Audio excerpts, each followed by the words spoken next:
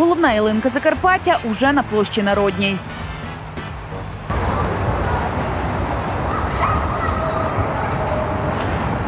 Пишна ялиця із шириною нижніх гілок у 7 метрів та завишки майже в 20 метрів подолала шлях до Ужгорода у 250 кілометрів. Знайшли її у Станіславському лісництві.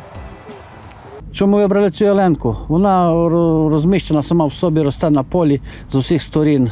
Нормально, вона розвивається, розвиток у неї нормальний, зато вона вийшла досить красива, кругла з усіх сторін. Шукали лісниче головне новорічне дерево кілька тижнів. Обрали не тільки найгарніше, а таке, аби його вирубка не шкодила природі. Зокрема, у цьогорічної красуні пошкоджена коренева губка та смольові ходи. Так як є вже перші признаки кореневої губки, пішли з кореня активно. І є смолистість, та вона вже підпадає під ряд тих, які фактично все рівно вона була би через пару років зрубана, чи як ялинка, або як просто дерево промислове. На вихідних ялинку встановили на площі Народній. Прикрашатимуть у новий одяг та нову ілюмінацію. Встановили новорічне дерево і на площі театральній.